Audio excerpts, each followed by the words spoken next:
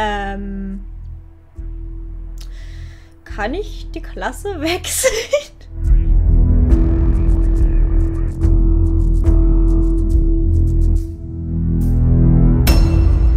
Willkommen zu Episode 55 der Sims 4 Black Widow Challenge. Wie ihr euch vielleicht noch erinnern könnt, ist heute Nemesis erster Schultag an der neuen Schule in Forgotten Hollow. Und wie es der Zufall nun mal wollte, ist nun auch das neue Pack draußen und wir können Nemesis gleich direkt in die Schule begleiten. Wir ignorieren einfach mal den Umstand, dass die Schule in Copperdale steht, weil die Schüler keine anderen Schulen besuchen können. Das ist tatsächlich das Einzige, was mich so ein bisschen dran stört stört. Aber ansonsten finde ich es so cool, dass es passend zu diesem Ereignis rausgekommen ist. Wir stehen hier auch gerade schon vor unserem eigens ausgewählten Spind, nehmen uns gerade noch ein schönes Äpfelchen und ich habe gesehen, man kann die Spins einfach mal dekorieren. Ich weiß, wir werden vermutlich nicht genug Zeit haben, um uns alle Dekos anzusehen, aber ich versuchte einfach, oh mein Gott, okay, das ist auf jeden Fall schon mal nichts für unsere gute Nemesis. Äh, dann versuchen wir nochmal die dunkle Akademie-Deko Deko, die könnte doch vielleicht besser passen. Die ist in der Tat so mit ein bisschen Nemesis-Flair. Dann haben wir noch eine schöne Gamer-Deko. Das ist nochmal die gleiche wie beim Spind daneben. Goth Deko. Oh, die finde ich auch toll. Da ist immer so eine schwarze Katze unten dran. Wobei Nemesis ja eher so der Hundetyp ist. Dann haben wir noch Grunge Deko. Die ist auch ganz cool. Die wird eigentlich auch zu Nemesis passen. Kawaii Deko. Okay, die ist so gar nicht für Nemesis. Sportdeko, was auch gar nicht passen wird. Ebenso wenig wie Öko-Deko. no way. Und die Anime-Deko haben wir auch noch nicht gesehen. Okay, die ist auch richtig cool. Aber ich glaube tatsächlich, dass wir mit Nemesis die dunkle Akademie-Deko nehmen. Und ich weiß ja, man sieht von innen dann auch so ein bisschen unterschiedliche Dekoration. Oh ja, das ist cool. Das ist ein Vibe, der zu Nemesis passt. Ich wollte jetzt nicht alle Dekos nochmal von innen anschauen. So viel Zeit hätten wir auch gar nicht. Ich will auch nur mal anmerken, wie passend diese Schule für Nemesis ist. Ich meine, sie ist EA-typisch leer und liebelos, aber sie ist türkis, genauso wie Nemesis Haare. Das heißt, das ist perfekt geeignet für sie. Ja, und sie ist auch super nervös hier an ihrem ersten Schultag, frischt sich gerade noch ein bisschen vorm Spind auf, weil sie Angst hat, dass sie irgendwie unangenehm riechen könnte oder sonst was. Es ist ja wirklich das erste Mal, dass sie irgendwo die Neue ist und das ist nie ein schönes Gefühl. Und sie hat auch irgendwie die Sorge, dass sie ihren Klassenraum gleich gar nicht findet. Oh, sie huscht auch gerade nochmal auf die Toilette. Sie hat keine Ahnung, wie ihre Mitschüler wohl so sein werden. Es ist einfach alles neu, alles gruselig, alles anders. Und wir hoffen mal auf das Beste. Erzählt doch mal, habt ihr das neue Pack auch schon? Habt ihr es schon angetestet? Wollt ihr es euch noch holen oder seid ihr nicht so überzeugt? Ich freue mich, eure Meinung zu lesen. Ich habe dieses Mal kein Video zum neuen Pack gemacht, weil ich es tatsächlich erst seit dieser Woche habe. Also ich war ja genau in der Zeit, in der es rauskam, auch gar nicht im Lande. Und deshalb war ich auch jetzt voll... Oh no. No way. Das kannst du mir doch nicht erzählen. Als ob einfach Terrier in unserer Klasse ist. Wenn ich das planen hätte wollen, dann hätte das nicht funktioniert. Das kannst du dir halt nicht ausdenken, als ob Terrier in unserer Klasse ist. Die werden sich zerfleischen. Ähm... Kann ich die Klasse wechseln? Oh mein Gott, das ist einfach so die, die ultimative Horrorvorstellung gerade hinter ihr. Sitzen einfach mal Terrier und Michael, die beiden gefährlichen Unsterblichen, sind mit ihr in der fucking Klasse. Denn einfach alle Teenies, die das Spiel findet, random in die Klasse gesetzt? Oder ist das jetzt wirklich krasser Zufall? Schreibt mir auch das gern in die Kommentare. Ich habe noch keine Ahnung, wie dieses Pack funktioniert. Ich habe es nur einmal kurz angetestet, um zu sehen, ob auch alles klappt mit einem anderen Spielstand. Aber jetzt gerade, ich meine, nee. Scheiße. Ich glaube, Nemesis ist das auch schon so ein bisschen aufgefallen. Oh, man ist Halloween. Geil. Ich glaube, Nemesis ist das äh, schon... Oh, ähm... Where are you going? Prüfung machen? Hä? Es ist ihr erster Schultag und sie muss eine Prüfung machen. Okay, das äh, wirkt sehr realistisch. Ich glaube tatsächlich, dass sie einfach nur keinen Bock hatte, irgendwie zusammen mit Michael und Terrier in einer Klasse zu sitzen. Ich glaube, das wird sein. Sie hat so Michael und Terrier gesehen und hat sich so gedacht, no way tue ich mir das an, ich muss hier raus. Vielleicht darf sie ja doch die Klasse wechseln, weil das ist definitiv keine Prüfung, meine Liebe. Es sei denn, äh, du hast eine Prüfung im Computerspielen und dann wärst du an der geilsten Schule aller Zeiten. Hier neben ihr sitzt gerade Taku Akiyama. Der macht scheinbar auch eine richtig tolle Prüfung im Nichtstun. Ich bin so verwirrt gerade. ja, sie durfte die Prüfung scheinbar unten machen, weil sie neu ist. Terrier hat uns aber schon gesehen und Michael auch. Und Terrier, die freut sich, die lächelt auch ganz fies, denn die hat noch ein Hühnchen mit uns zu rupfen. Und unser Ziel wird es gleich mal sein, ihr aus dem Weg zu gehen. Ich habe das Gefühl, wir verstecken uns vor Terrier immer in irgendwelchen Toiletten. Das ist aber trotzdem nicht ganz so der sicherste Ort, habe ich das Gefühl. Du kannst nicht dauerhaft im Keller bleiben, vor allem, oh, sie hat gar keinen Hunger. Du solltest dich aber trotzdem oben raufsetzen. Wir wollen ja natürlich auch neue Freunde finden. Wir wollen nicht so allein sein, wie wir es immer waren. So, dann gehen wir mal hier nach oben und setzen uns einfach mal hier an diesen Tisch. Wir kennen nämlich noch niemanden. Und schauen mal, wer hier so rumläuft. Alles Leute, von denen wir noch nie irgendwie gehört haben. Und ich bin mir auch gerade... Oh, das jetzt Michael. Das setzen wir auf jeden Fall nicht dazu. Ich bin mir gerade gar nicht so sicher, wo Terrier... Okay, da ist Terrier. Und da ist doch noch ein Plätzchen frei. Taku haben wir bei der Prüfung schon gesehen. Der Magus aus irgendeinem Grund so gar nicht, weil wir noch nicht mal mit ihm gesprochen haben. Und hier hätten wir noch Savannah. Vielleicht ist Savannah ja etwas freundlicher gesinnt uns gegenüber. Ich habe Nemesis übrigens auch das neue Merkmal gegeben. Ähm, also sozial unbeholfen. Das passt nämlich so gut zu ihr. Und ich glaube, das wird es uns nicht gerade einfacher machen, neue Freunde zu finden. So, wir sagen mal freundlich Hallo zu Savannah. Sagen so, ja, hi, ich bin die Neue. Ich kenne mich hier noch nicht so aus. Wollt ihr mir vielleicht so ein bisschen erzählen, wie es an der Schule so läuft? Und Savannah scheint auch recht nett zu ihr zu sein. Und offensichtlich ist Nemesis socially awkward as hell. Oh Mann, kannst du dich normal verhalten? Oh, sie denkt sich gerade schon, was ist das denn für eine? Oh Mann, es wäre so typisch für Nemesis, gleich mal irgendwie so eine urbane Legende von Vampiren zu erzählen. Wir tun nämlich so, als wären wir nicht in Coppertale, sondern in Forgotten Hollow. Oder zumindest, wir könnten auch sagen, Forgotten Hollow ist so klein, dass keine eigene Schule dort ist. Und Copperdale ist so die Nachbarstadt und deshalb gehen die alle dort zur Schule. Das macht doch Sinn, weil Forgotten Hollow ist wirklich nur so ein kleines Fleckchen auf der Landkarte. Und deshalb erzählen wir gleich mal so eine urbane Legende aus Forgotten Hollow Hollow. Und Savannah gerade so richtig zu dem einen, oh Mann, was ist das denn für eine? Und die ist jetzt an uns an der Schule, ich weiß ja nicht. Und dann wieder so an Nemesis gerichtet, oh ja, was für eine tolle Geschichte. Ich habe so das Gefühl, Savannah ist nicht gerade so die ehrlichste Haut. Und wir haben schon gemerkt, hier benutzen alle richtig gern Sozialhase. Und wir fragen Savannah gleich mal, ja, hast du nicht Lust? Äh, wir könnten uns doch adden auf Sozialhase. Und Savannah ist nur so, ja, klar. Und innerlich denkt sie sich so, oh Mann, warum muss ich diese weirde Neue ausgerechnet an uns dranhängen? Und schaut dann auch wieder zu ihrem Kumpel da hinten, der sie nur so mit diesem Blick ansieht, ja, du warst freundlich zu ihr. Und dann ignorieren sie Nemesis auch so ein bisschen und sie steht dann noch auf und geht, weil sie schon merkt, dass sie hier an dem Tisch nicht so ganz erwünscht ist. Also sie kennt das ja auch schon von der Zeit in Hanford, als sie in der Grundschule war. Sie war immer so ein bisschen außen vor in der Klasse, steht jetzt auch hier bei dem Grüppchen und wird gerade von Noah angesprochen, den hat sie da drin auch schon allein am Tisch sitzen sehen. Also er scheint auch so ein bisschen ein Außenseiter an der Schule zu sein. So vielleicht ist er ja so ein bisschen freundlicher zu ihr. Oh Mann, sie redet gleich so, na, willst du dich mit mir anfreunden? Ich backe dir an Cupcakes. Oh Mann, Nemesis, I feel you. Es ist nicht einfach, Anschluss zu finden, wenn man irgendwo neu ist. Aber wir geben natürlich unser Bestes, damit sie auch die besten Chancen hat. Nein, wir verbreiten keine Gerüchte, das wäre kontraproduktiv. Stattdessen können wir ein bisschen freundlich zu ihm sein oder auch nicht, weil er geht einfach. Oh Mann. Oh, Nemesis ist auch schon gerade in der nächsten Klasse. Wir sind Terrier und Michael auf jeden Fall erfolgreich aus dem Weg gegangen, aber sie sind auch wieder in dem Kurs mit uns. Ich habe das Gefühl, die sind einfach echt mit uns in derselben Klasse. Scheiße. Was haben wir jetzt für eine Unterrichtsstunde? Noch keine. Okay. Ja, äh, ich glaube, wir können mal einen verzweifelten Status posten.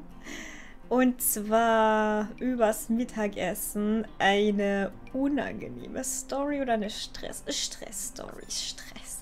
Ich habe das Gefühl, am Druck zu ersticken und das Mittagessen ist der einzige Moment, in dem ich Luft schnappen kann. Ja, so ähnlich könnte Nemesis sich gerade tatsächlich fühlen. Es ist halt einfach wirklich kacke, die Neue zu sein. Wie sie halt echt schon wieder in den Keller geht. Ich glaube, sie darf echt im Keller Prüfungen schreiben, weil sie irgendwie neu ist und noch keine zugewiesenen Prüfungsplatz hat. Zumindest sagen wir, dass das der plausible Grund dafür ist. Ist aber auch voll weird, dass die jeden Freitag eine Prüfung schreiben. Wenn wir das an meiner Schule gemacht hätten, hätten wir die Kugel gegeben. Vielleicht sitzt ja wieder dieser eine Typ neben uns. Nö, dieses Mal sind wir ganz allein. Oh, sie geht ja auch ganz woanders hin. Wo gehst du hin? Duschen? Nein, du gehst bitte nicht duschen. Oh mein Gott, warum gehst du duschen? Du musst zu deiner Prüfung. Scheiße. Oh Mann, äh, also es bringt sie ordentlich ins Schwitzen, dass irgendwie Terrier und Michael in ihrer Klasse sind. Ich würde mich mal beeilen, wenn du nicht am ersten Tag schon Probleme bekommen willst. Nachsitzen wäre jetzt nicht gerade auf deiner Bucketlist. Und wir hätten in der Mittagspause echt was essen sollen. Aber Nemes ist einfach zu nervös, um irgendwas so runterzubringen. Und jetzt rächt sich das, weil sie wahnsinnigen Hunger hat. Wie wir dann so verspätet reintrotten und die Lehrerin so, na, haben sie auch endlich mal den Klassenraum gefunden? Ist ja nicht so, dass wir vorher schon da gesessen wären. Aber thanks for nothing. Die Prüfung ist endlich vorbei. Der Tag war anstrengend und die Fragen waren richtig schwer, aber es ist vollbracht. Dank der schnellen Arbeit des Kenotron wurden alle Prüfungen ausgewertet und Ergebnisse sind da. Nemesis hatte einen harten Prüfungstag. Es sollte vielleicht mehr lernen. Ja, das war auch ihr erster Tag in dieser fucking Schule. Stellt euch vor, ihr seid irgendwo neu und habt am ersten Tag eigentlich irgendwie so eine kacke Prüfung. Ähm, ja, und wie hat sie sich jetzt geschlagen? Gut, ihre Leistungen sind immer noch ausgezeichnet aber sie sollte mehr lernen. Nemesis will nach dem Tag eigentlich nur noch nach Hause, aber natürlich wird sie auf dem Flur von Terrier und Michael abgefangen. Terrier gibt ihr gleich zu verstehen, dass das hier ihre Schule ist und wenn Nemesis hier überleben möchte, dann sollte sie sich besser an ihre Spielregeln halten. Und sie gibt ihr auch noch mit auf den Weg, dass sie sowieso besser generell tun sollte, was sie und Michael sagen.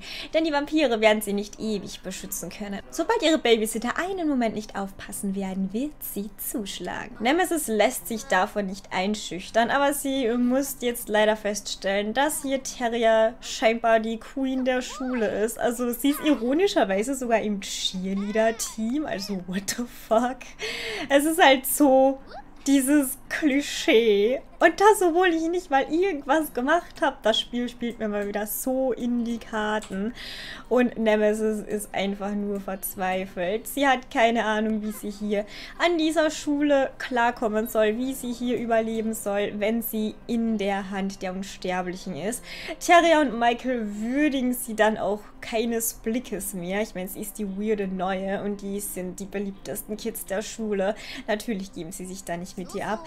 Und Nemesis geht dann einfach in die Cafeteria, bestellt sich was zum Frustessen, denn nach dem Tag braucht sie jetzt wirklich was ordentliches im Magen. Was ist das? Kleines Mittagsmenü, okay. Ja, sie hat sich da gleich das ganze Menü bestellt, auch wenn das eher aussieht wie irgendwie so Play-Doh für Kinder. Aber lass es dir auf jeden Fall schmecken. Da hinten putzt schon der Schulwart die Tische. Ich glaube, sie wird gleich rausgejagt. Aber beschissener hätte ihr erster Tag halt wirklich nicht sein können. Nirgends hat sie Ruhe vor den Unsterblichen. Nicht mal in der Schule, wo früher Normalität war, unangenehme Normalität, aber dennoch Normalität, wo sie einfach abschalten konnte. Sogar bis dahin verfolgen sie jetzt diese ganzen absurden Geschichten. Sie will einfach nur einen Tag normales Leben als Teenager haben, aber scheinbar ist das zu viel verlangt. Und Ey, Sporttag ist Cheerleading. Natürlich gehen wir dahin, wenn Terrier der Hauptcheerleader ist. Nee, wir gehen jetzt nach Hause. Nemesis hat einfach keine Lust mehr. Sie hat die Unsterblichen getroffen, die ihr nach dem Leben trachten und ihren Schulalltag wahrscheinlich zur Hölle machen werden.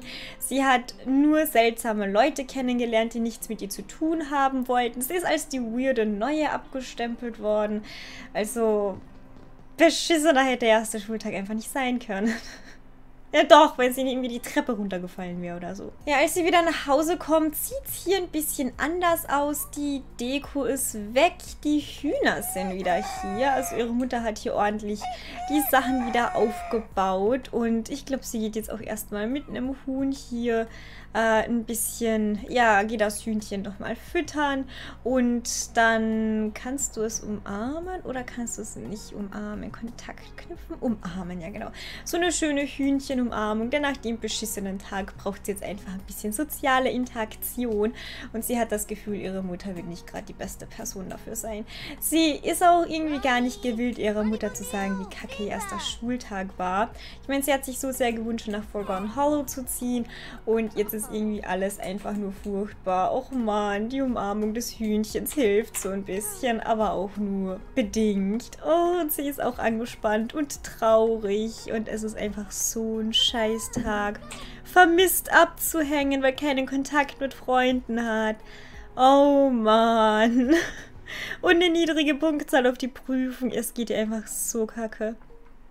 Aber durch die Hühner geht sie ein bisschen besser. Wenigstens etwas. Und dann geht sie auch wieder nach drinnen, begrüßt ihre Mutter, die einen viel besseren Tag hatte. Ich meine, Cherry hat einfach mal ein komplett neues Styling ausprobiert, hat sich wieder in Schale geworfen und hat es tatsächlich auch ein bisschen wohnlicher und gemütlicher hier gemacht, hat aufgeräumt, die Sachen repariert, die kaputt waren. Ja, Cherry fragt sie natürlich gleich ganz begeistert, wie ihr Tag war. Erstmal begrüßt sie sie mit einer Umarmung und Nemesis, die lässt das natürlich alles über sich ergehen. Die will sich nichts anmerken lassen. Auch wenn Sherry sie fragt, wie ihr Tag war, sagt sie nur super und Sherry, die freut sich voll und umarmt sie gleich nochmal.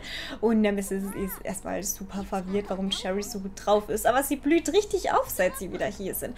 Und auch deshalb sagt Nemesis, dass alles toll war. Sie hat auch schon ein paar neue, nette Klassenkameraden kennengelernt. Sie bringt es einfach nicht übers Herz, jetzt zu sagen, dass Michael und Terrier bei ihr in der Klasse sind. Das würde Sherry gerade einfach nur aufregen und das würde wieder Drama reinbringen. Und wahrscheinlich würde sie am Ende sich dann auch noch aufregen, dass Nemesis sie überzeugt hat, hierher zu ziehen, weil im Endeffekt sind sie vor gar nichts geflüchtet. Ich gehe zum Gewürzfestival, um Fo zu probieren. Kommst du mit? Äh, fragt uns Caleb. Also, Nemesis war ja eigentlich nicht so begeistert darüber, dass Caleb so abweisend war. Vielleicht will er es auf die Art wieder gut machen. Jetzt wohnen es ja auch in Forgotten Hollow und er ahnt vielleicht, dass es nicht so einfach ist. Und tatsächlich könnte Nemesis es auch gebrauchen, jetzt mit jemandem zu sprechen. Deshalb wird sie mitgehen. Und er fragt uns auch gleich mal, wie war denn dein erster Schultag hier? Und Nemesis, die druckt erst so ein bisschen rum und sagt dann so, ja, eigentlich war es ziemlich beschissen und ich glaube, ich habe ein riesiges Problem. Und Caleb fragt dann erstmal so scherzhaft, ja, was ist denn passiert? Hat hat einen Schwarm eine andere. Und Nemesis, der ist aber gar nicht nach Lachen zumute. Und sie sagt nicht ganz, aber ich habe zwei Unsterbliche in meiner Klasse. Und Caleb ist da natürlich sofort Ohr und will mehr wissen. Und sie sagt, ja, es sind Terrier und Michael. Und ich weiß nicht, was ich tun soll. Terrier und Michael, die sind irgendwie die beliebtesten Kids der Schule. Terrier hat mich auch schon bedroht, hat gemeint, wenn ich nicht nach ihrer Pfeife tanze, dann wird sie mir das Leben zur Hölle machen. Und ich kann es Cherry nicht sagen, weil dann wird sie sich beschweren, dass wir wegen mir hierher gezogen sind. Und Caleb ist natürlich eine super Hilfe, weil er einfach abhaut. Das ist echt nett von dir. Excuse me, ich rede über meine Probleme und du gehst ein paar Körbe werfen? I hate you.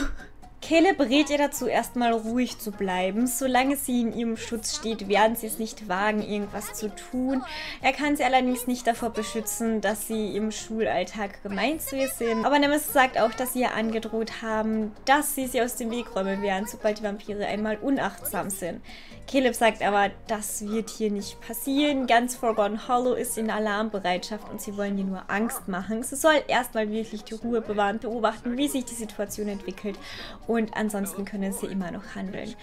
Das hilft Nemesis jetzt nicht, das macht sie eigentlich sogar ziemlich wütend, weil es nicht fasst, dass sie immer wieder in so beschissene Geschichten reingezogen wird. Und sie sagt zu Caleb, ja, ich will aber nicht abwarten, ich will endlich wieder ein normales Leben haben. Und er kann mit ihren Ausbrüchen jetzt auch nicht so gut umgehen. Und deshalb rät er ihr, wenn sie sich unwohl fühlt, dass sie am besten einfach wieder nach Hause gehen soll. Oh man, dass er jetzt ein bisschen rumblödelt, macht die Sache, glaube ich, nicht besser. Er sagt ihr, dass sie da auch nicht so viel drüber nachdenken soll. Sie soll lieber ein bisschen das Fest genießen und dann geht er auch schon seine eigenen Wege.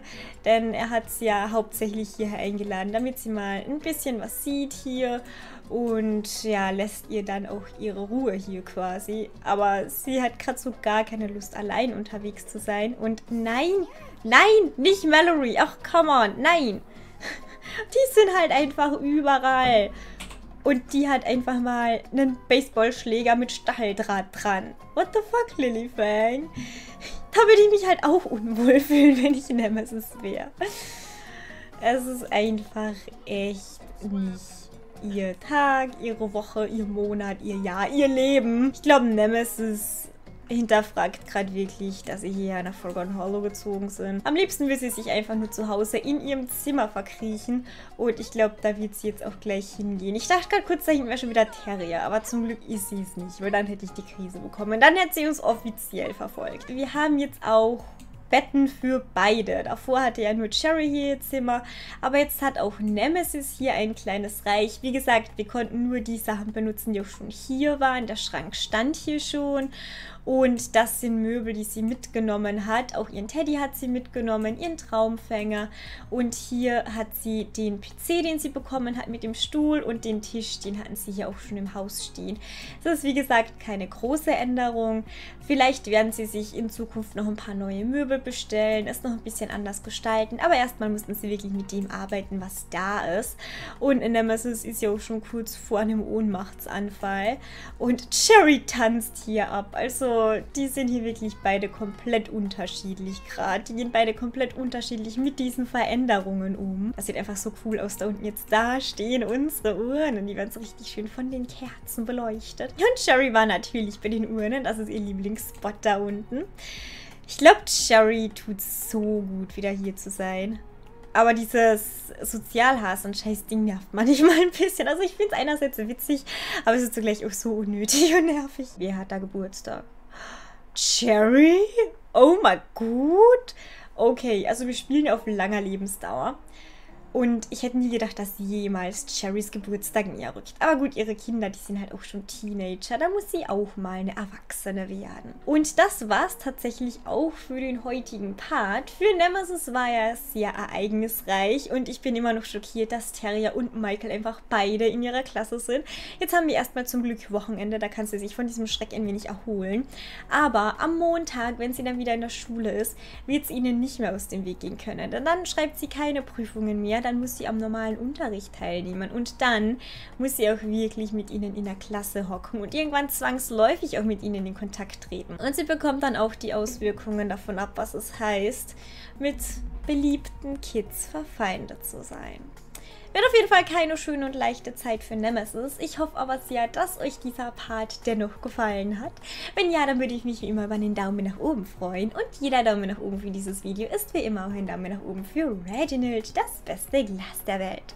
Und bis wir uns das nächste Mal wiedersehen, wünsche ich euch jetzt erstmal eine schöne Zeit. Tschüss!